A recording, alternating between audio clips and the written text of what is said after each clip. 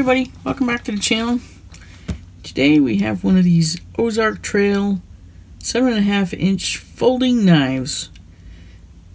They seem to be everywhere on advertisements and things. I got this one at the Walmart in town and it was 10 bucks. This one has D2 high carbon steel, injection molded handle, which means plastic, three and a half inch steel blade, four and a half inch injection handle, slide lock, belt clip. And it's pretty strong belt clip. There's no way to change the side, so it is what it is. Of course, it's made in China. So, I'm not sure what the big thing with these is. If you look on eBay right this moment, I paid 10 bucks. They're going for 25, 30. One guy was selling for 55. So let's open it up and see what see what the hype is about.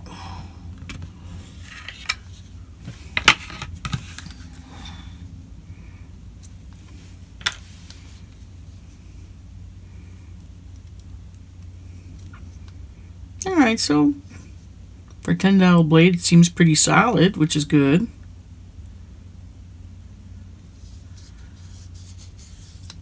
A little bit grippy, which is okay.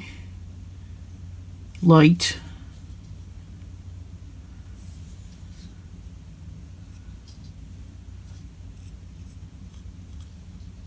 Seems like the blade is pretty sharp.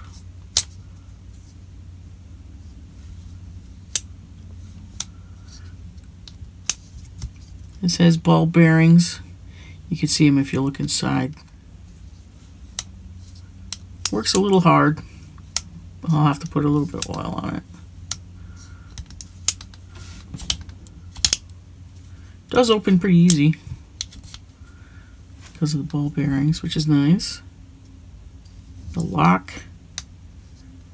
The spring on the lock is a little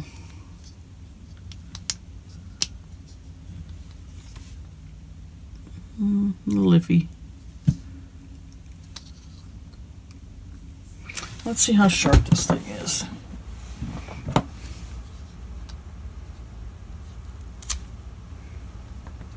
Okay, so it's not bad.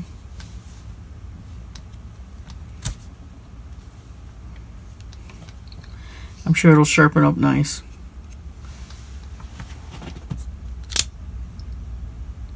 It does open pretty slick. I do find that sometimes this lock doesn't always lock when it's supposed to. There's like a little spring in there, kind of like that. Sometimes it catches, sometimes it doesn't. That's concerning.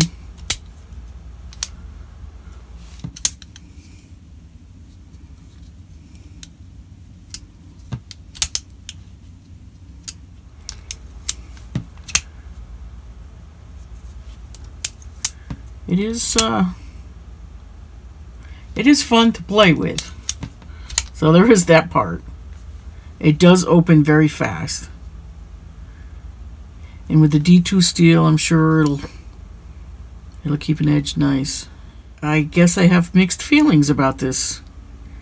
It's not a terrible knife. It's a $10 knife. I mean, it's fine.